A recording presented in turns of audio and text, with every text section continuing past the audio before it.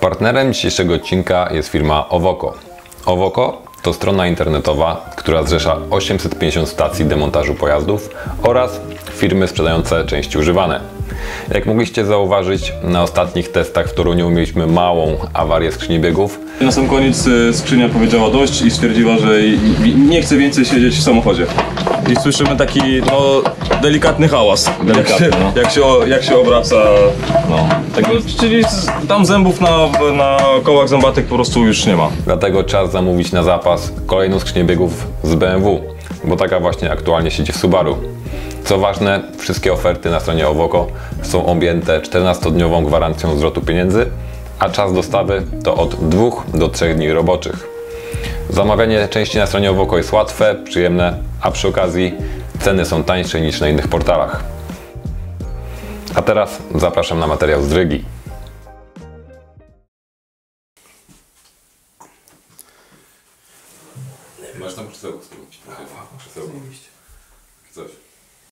Drift daje nam nieskończoną kontrolę nad autem. Wiesz, że jedziesz na limicie i tutaj najmniejszy błąd może kosztować Cię bardzo dużo. Bu- Zbudowałem auto Subaru BRZ głównie po to, żeby teraz przyjechać tutaj do Rygi i spróbować swoich sił i stanąć na podium. Dlatego no, można powiedzieć, że ten wyjazd jest dużym wyjazdem dla mnie. Aczkolwiek staram się do tego podchodzić na luzie, bo ja mam wpływ na jazdę i wiem, że jak będę jeździł dobrze, to może się przekuć na wynik, ale nie mam wpływu na wynik, bo wynik składa się z wielu czynników w drifcie, dlatego na tym wyjeździe chcę głównie postawić po prostu na dobrą jazdę i to co, to, co przyjdzie, to ma być.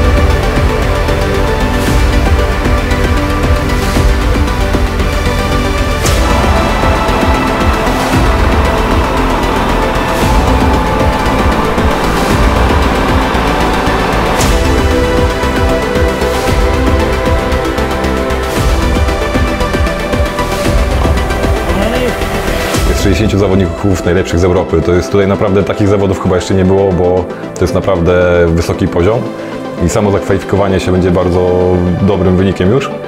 I żeby to móc zrobić, no to masz dwie dobre, znaczy jest jedna opcja, musisz do bardzo dobrze pojechać. Czyli nie możesz przestrzelić w jakiegoś zakrętu, nie możesz jechać za wolno, nie możesz ominąć jakiejś zony. Jedyne to, co masz wpływ, to pojechać możliwie najlepiej, najpłynniej. Ja nie mam potrzeby, żeby być najlepszym, ale zdobycie podium na Mistrzostwach Europy to jest moje, to będzie moje spełnienie, spełnienie marzeń. Prostu być w czołówce europejskiej danego dnia. To, to po prostu, to jest to, co chcę osiągnąć. Welcome back to the Drift Masters European Championship. We're here for round three and we are in Riga, Latvia, baby.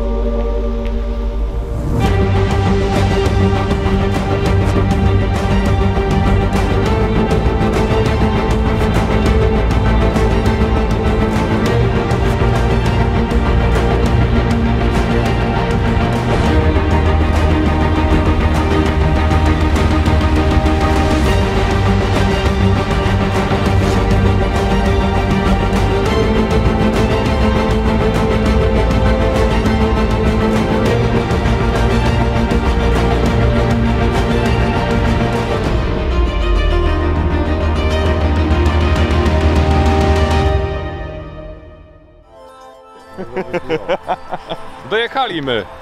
Patrz ta, znak. Riga. Niesamowite przeżycie. Wracamy, co? Myślę, że to będzie.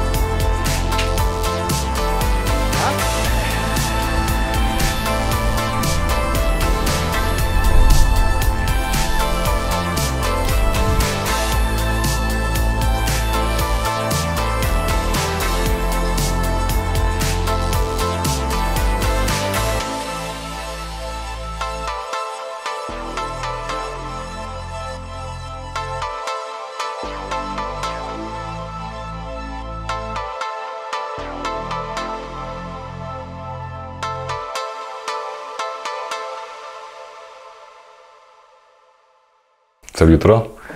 Bawię się, bawię się autem. Taki jest plan. A jak to będzie, to jestem przekonany, że wynik przyjdzie tak, jaki ma być, czyli dobry po prostu. Wiem, że dobrze jeżdżę, więc to myślę, że nie będzie problemu, żeby to dowieść na kwalifikacjach.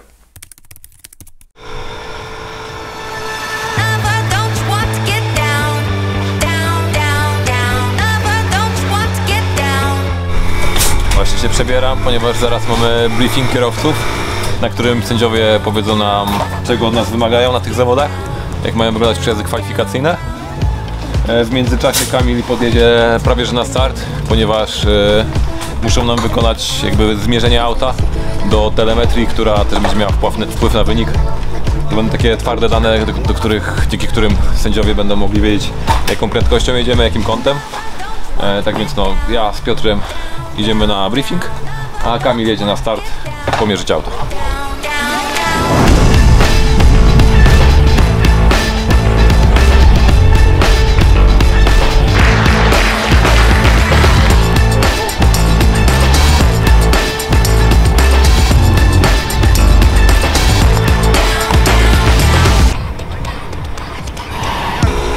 Teraz głaszczemy ko- kocurę od dołu, tak żeby lepiej mruczał. Po brzuszku. Po brzuszku. Dwa, trzy, cztery, 16 razy z prawej głaszczemy, 16 z lewej, 14, 15, 16. A tak naprawdę to ustawiamy teraz twardość zawieszenia, dobijania murka. E, Robię na początku na pierwsze przejazdy trochę twardziej, e, głównie po to, żeby się wjeździć w trasę i dopiero potem szukać bardziej trakcji. Na razie chcemy się po prostu skupić na, na dobrym wczuciu auta i na flow przejazdu, żeby lecieć fajną bombą, a nie walczyć z autem. Tak więc podrapaliśmy kocurka, możemy się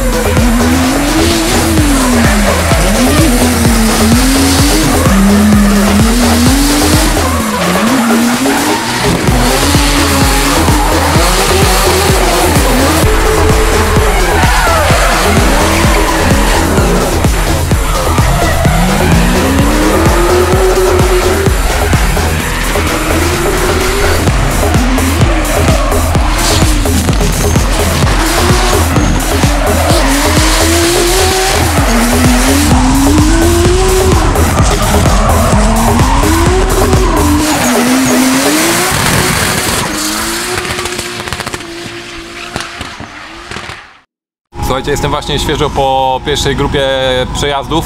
Godzina treningu. Super, bo udało wy, wykręcić mi się aż 4 przejazdy, więc uważam, że to jest no, naprawdę dużo. Jak na godzinę treningów i 30 aut w kolejce. Jestem mega zadowolony, bo to auto mi się w końcu jakby na tej trasie dobrze prowadzi. No, miałem pełen fan, e, jeździłem po zonach, mega dobrze rokuję, jestem szczęśliwy.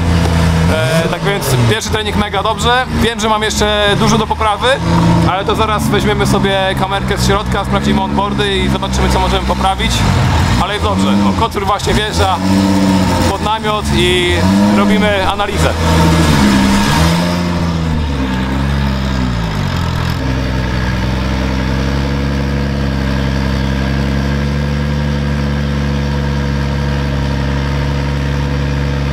Miałeś na każdym, tylko na pierwszym miałeś.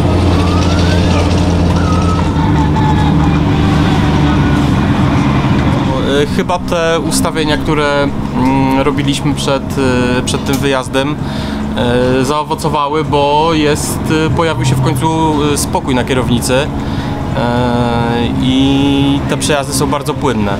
Sprawdzam logi samochodu, bo był problem z ładowaniem samochodu.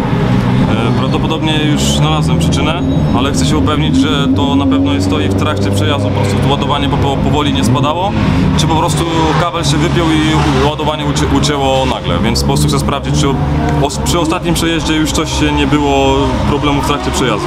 E, Obejrzeliśmy sobie onboardy, wnioski są takie, że jest dobrze, jest bardzo dobry punkt wyjścia uważam. I teraz właśnie będziemy się skupiać na detalach. Na pewno wiem, że muszę jeszcze trochę szybciej wchodzić w trasę, bo brakuje mi takiego impetu, żeby wszystko przejechać płynnie po zakręcie, co jest bardzo istotne, bo to decyduje o linii przejazdu całego toru. Tak więc e, popra- dopoprawię przód i koniec, bo na końcu mogę być bliżej jeszcze ściany. Na razie było też asekuracyjnie, bo nie chcę wrzucić raz, a za grubo i potem raz i koniec. Więc stwierdziłem, że małymi kroczkami będziemy dochodzić do tej ściany coraz bliżej. Tak więc te dwie rzeczy do poprawienia i myślę, że wtedy będzie naprawdę już e, bardzo dobrze, także będziemy gotowi na kwalifikacje.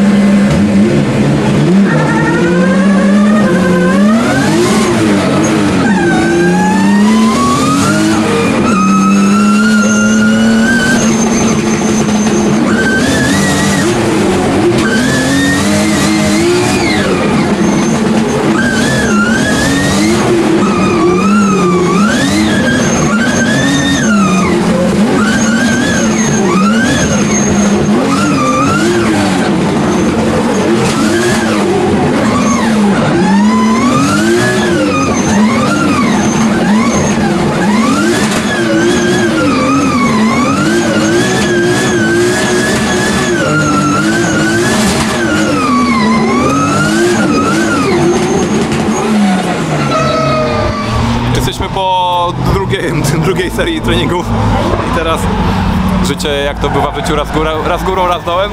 No i teraz można powiedzieć, że prawie wcale nie było dobrych przejazdów. E, generalnie na początku był mokry tor. E, w pierwszym przejeździe zrobiłem spina, bo się za grubo nawiałem i po prostu już byłem, jechałem na limicie i myślałem, że uratuję, ale wpadłem w dobicie i po prostu mnie obróciło. E, następnie przy kolejnych przejazdach trochę walka z autem, bo się zaczęło robić sucho mokro, sucho mokro, co jest no, bardzo ciężkie na takim torze do ogarnięcia. No i teraz na koniec e, przejazdu tak stałem długo w kolejce, że e, wypaliłem tyle wachy, że na wejściu zabrakło mi paliwa i auto po prostu nie miało mocy, żeby iść dalej. Tak więc e, można powiedzieć, ta, ta seria treningowa, no bez takich w ogóle fajnych przejazdów. Na szczęście mamy jedną, jeszcze jedną sesję treningową przed kwali. Mam nadzieję, że pogoda będzie albo sucho, albo mokro i będzie ogień.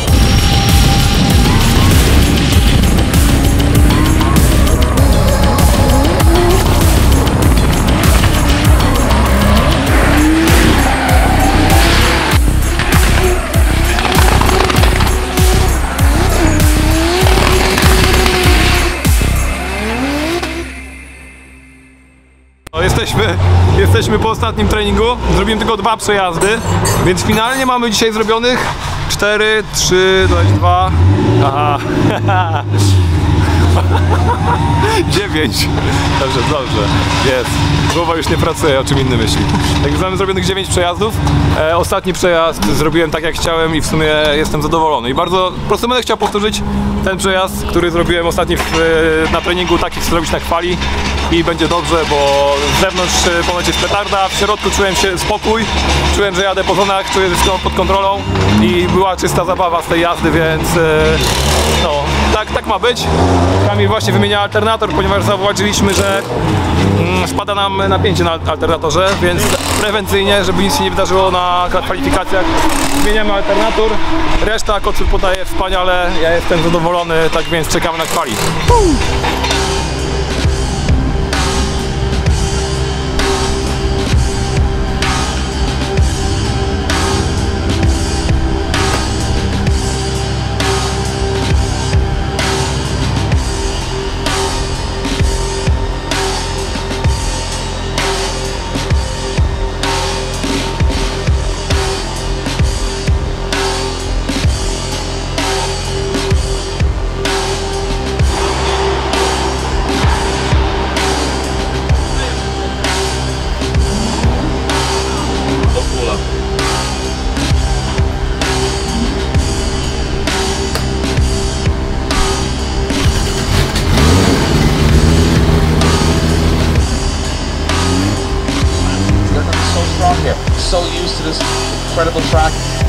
Enough of the talk, enough of the waiting. We came here to watch some drifting. Let's get qualifying underway.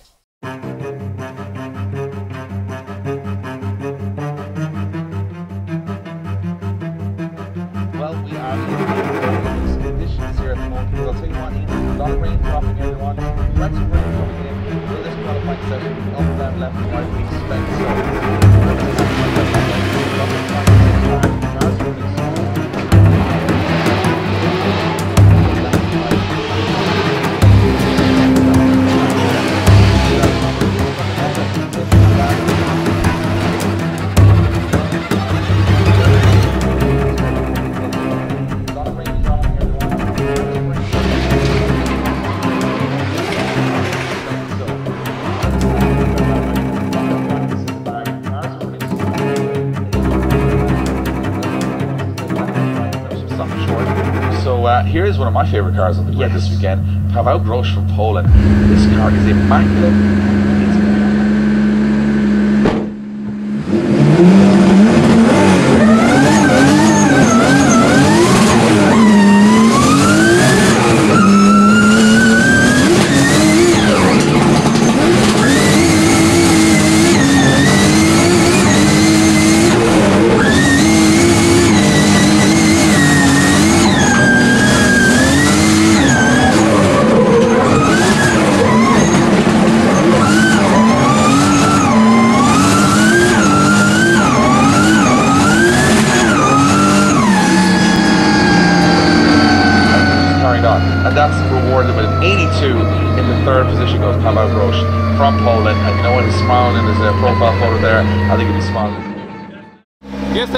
Przejeździe pierwszym kwalifikacyjnym, 82 punkty. E, jest, jestem zadowolony, bo punkty dobre. Mam aktualnie cały czas się utrzymuję gdzieś tam u góry.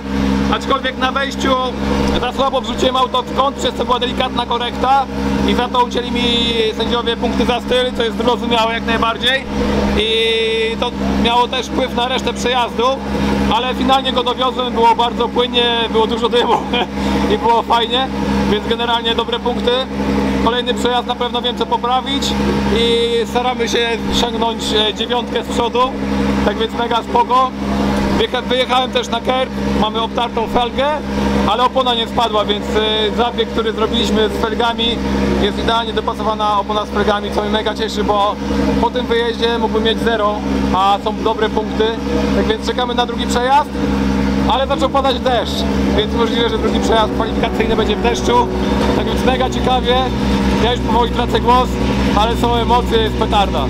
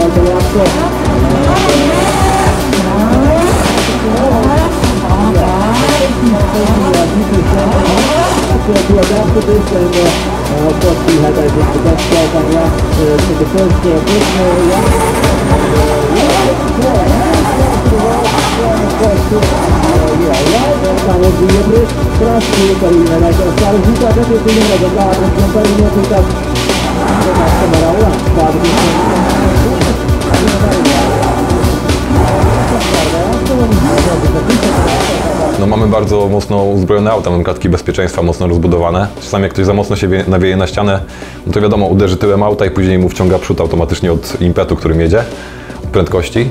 No i wtedy no, są uderzenia ze ścianami, ale to nie jest tak mocne, żeby komuś coś się stało. To są po prostu zniszczenia bardziej samochodu i jakieś takie bardziej poddenerwowanie kierowcy niż jakieś takie faktyczne, że kogoś... Nigdy nie widziałem, że kogoś wywoziła karetka z zawodów czy coś w tym stylu. E, takie rzeczy nie mają miejsca w drifcie. Na- ten moment i oby tak zostało oczywiście. Na strach nie ma miejsca. Aczkolwiek w momencie, kiedy tutaj się jest na rydze i się robi pierwszy przejazd, jest takie lekkie motyle w brzuchu. Co to będzie? Ślepy zakręt w prawo 140 i, i po lewej taki beton 2 metry obok i między nimi jakaś tam zielona trawka, gdzie jak na nią wypadniesz, to wciągacie ten beton. No i zakręt w prawo, gdzie trzeba tam 140 się władować na ręcznym i później wcisnąć gaz i pojechać do końca.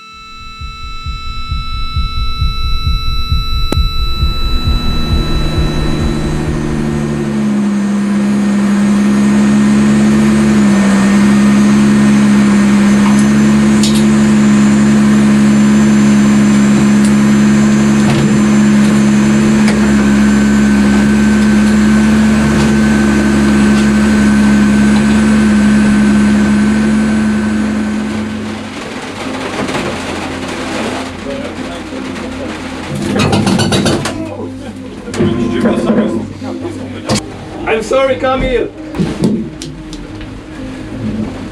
Uh, stay tuned, and we'll be back. Wracam na lawecie. Drugi przejazd chwali, załapałem agro i poleciałem prosto w beton. Mamy uszkodzoną lewą tylną ćwiartkę zawieszenia. Musimy wrzucić auto na kobyłki i zobaczyć na spokojnie co tam się wydarzyło.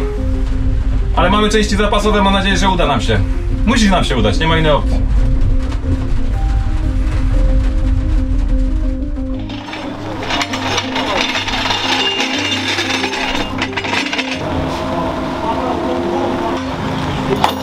Tragedia, nie? Trochę, co mogę powiedzieć. No, nikomu się nie życzy takich rzeczy, wiadomo. No. A wydaje mi się, że gdzieś tam jakiś błąd po prostu Paweł popełnił w miejscu tamtej przekładki po pierwszym zakręcie.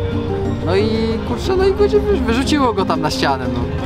Grunt się nie- tak? grunt się nie poddawać, nie? Dokładnie tak.